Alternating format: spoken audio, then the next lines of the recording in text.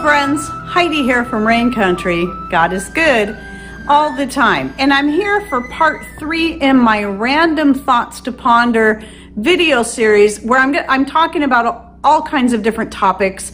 And the first two were actually pretty closely related, but this is going to be different topic altogether. And I'm talking about labels. And what I mean by that is labels that we give to other people or that people give to us. This is something that's been bothering me for a long time.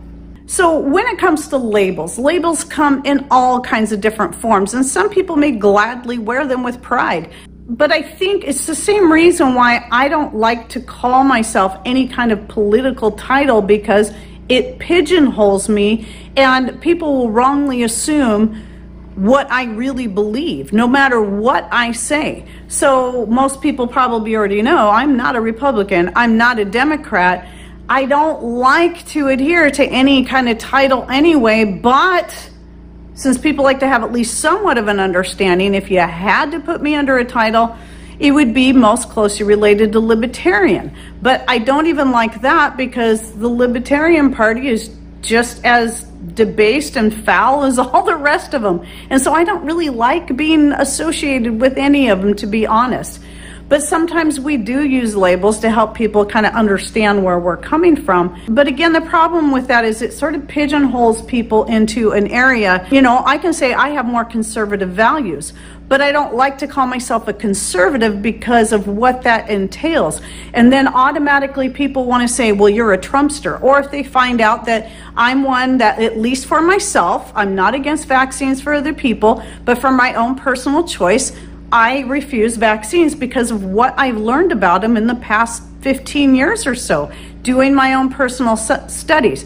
So then people will start calling me an anti vaxxer and then automatically assume I voted for Trump and then start insulting me. And it's like, I didn't vote for Trump. But on the other hand, just because I'm not a Trumpster doesn't mean I voted for Biden either. I voted for none of them because that's where I stand. I think they're all debased. I think they're all wicked. And I won't vote for evil. I don't care what color they wear. So that's just an example. I'm not here to start any kind of political debates. In fact, that's what I'm trying to prevent. So this has really kind of come to a head lately because of all the things we're seeing going on in the world. And I, you, you got people that are they don't that are against vaccines that call the people who are for the vaccines sheep. And i i think that's kind of hurtful and rude and it does not help the people who are not wanting to get vaccinated. It's not going to help their point. It's going to make them look juvenile. Same thing from the other side. Those who are for vaccines saying that those who are against vaccines are totally uneducated unscientific and whatever names that they want to give them. And both both are wrong to give these kind of labels because we're all you know, we do educate ourselves, just like I'm sure many of the people that do get vaccines educate themselves from their own side.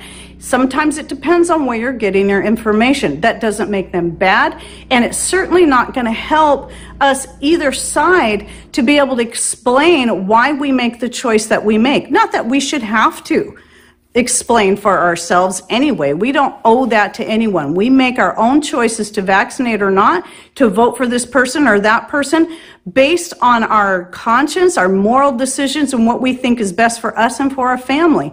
And that should be between us and our family and those we're making those choices for, not the whole world. That's why I don't make my channel all about that kind of stuff because I'm not here to create division. I'm hoping to help bring people together in, in their certain commonalities. So I'm going to throw out a couple other examples.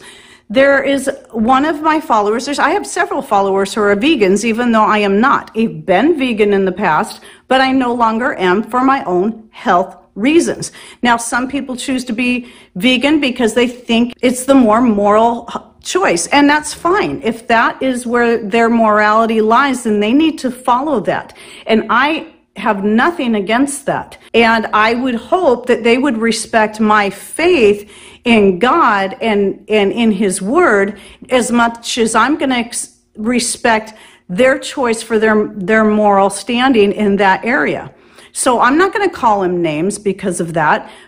but I don't want them coming in and making me feel guilty for my own choice. But something that happened somewhat recently was one of my followers who's pretty faithful, who is a vegan, and we've talked about these issues before, and we've come to just respect each other for our opinions and views on that. Yet she made a comment on something. I'm not going to say what the comment was, but somebody else came in and started calling her names. And that really really made me angry. I didn't even respond to it. I just deleted the comment. And even though this is someone who does routinely watch our videos, that's something I won't put up with. I am not going to put up with people basing it on one person's opinion on one little thing, come in and just start labeling them as this, that, and the other thing when they could be completely off base.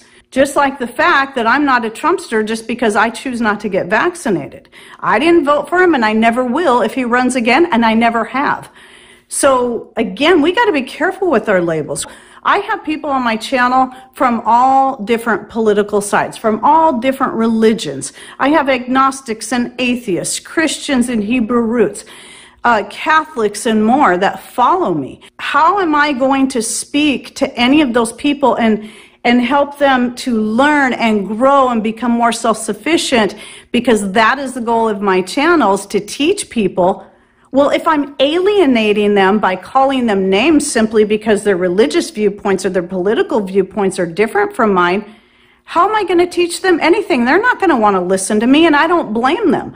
I don't like to listen to people that want to get on their high horse about how i'm wrong and then they want to teach me about something, I'm going to turn them off because they're already too conceited, too full of themselves, and think they're better than everybody else. They don't have my attention anymore, even if what they have to teach is good. So if you're trying to get people to understand your point and you feel that it's important, okay, that's fine.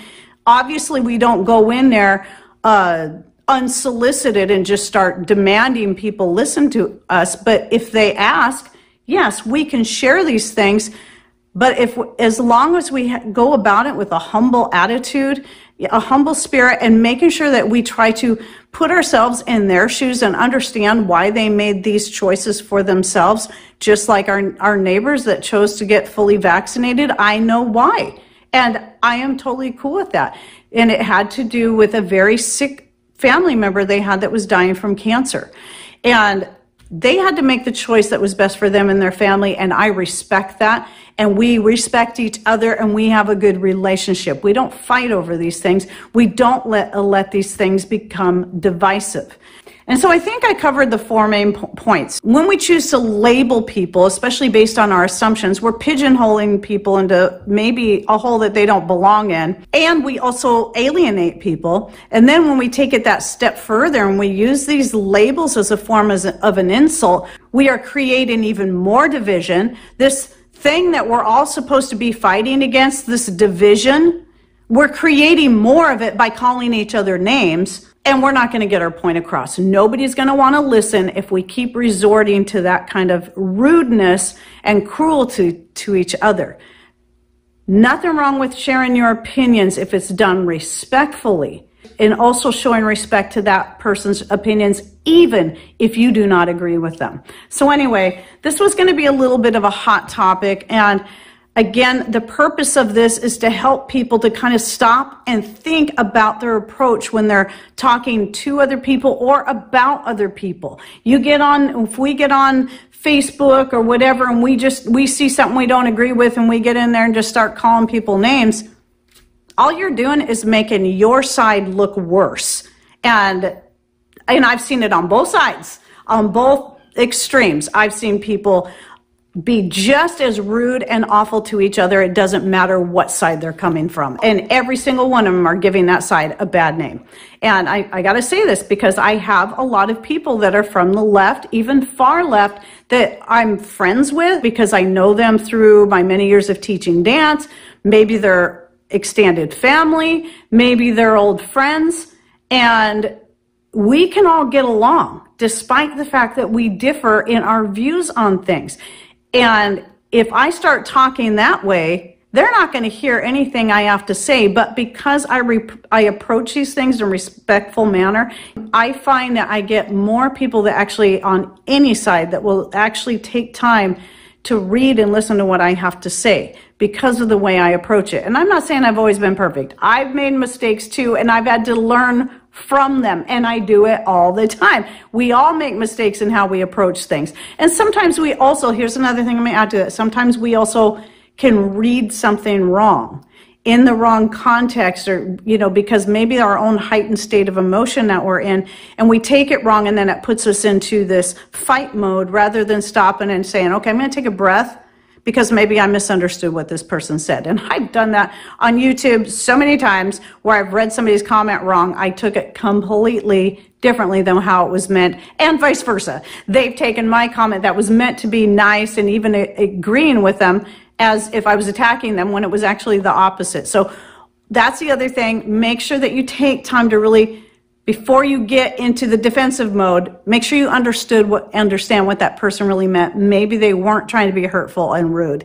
And, and it might just be a poor wording on their choice or a poor listening or reading on your side because of the state that you're in at the time. It happens to all of us because we are all human. And that's the thing that we have to remember we are all human. A lot of us want to hold people to a higher standard than we'll even hold ourselves. So before we start being accusatory, let's stop and look at our own selves and the mistakes that we've made and people we've hurt in the past. And just kind of take a deep breath and rethink how we say and do things, and especially the names that we call each other and the labels that we want to put on people that could be just totally wrong. If you have any positive experiences where you've where you've been in that the, any of these situations and you were able to diffuse something that was building up because of your choice of words, feel free to share those with us down below. And let's just be real with each other. I'm not saying that we always got to walk on pins and needles. We shouldn't have to be that way either. You know, because we, we can go so far that, you know, everything is offensive and we see that going on too. Everything is offensive. It doesn't matter what somebody says. But on the other hand, I think it's still good to listen to other people and understand where they're coming from so that we can be more careful with our words so that we can then teach and and bring a message that they will want to hear as well as something that will be a truth. Sometimes the truth hurts though. I will say that. Sometimes the truth hurts on both sides. But it doesn't mean we can't learn to be respectful either. Okay, well, anyway, I hope you enjoyed this video, and I'll be putting the playlist to this series. I've got so many more videos to go in this. If you're just interested in some of the random topics I'm going to be talking about that are just things that you might want to ponder. All right, well, thanks for watching. Take care, and God bless.